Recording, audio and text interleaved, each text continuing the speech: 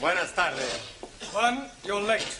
Por favor. Never mind, por favor. You should have been here five minutes ago. Why? What happened? Quiet! Quiet! Silencio! Thank you. It's all right. Why are you late? Uh, I tell you, my boss where I work, he tell me about a horse who's going to win the big race tomorrow.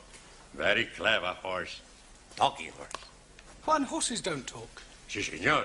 He told me he get the tip straight from the horse's mouth. That's just a racing term. It's all right. Then he tell me to put my shed on horse. You didn't. Nah, Oh, thank goodness for that. my shed wouldn't fit the horse. Ah. Silence!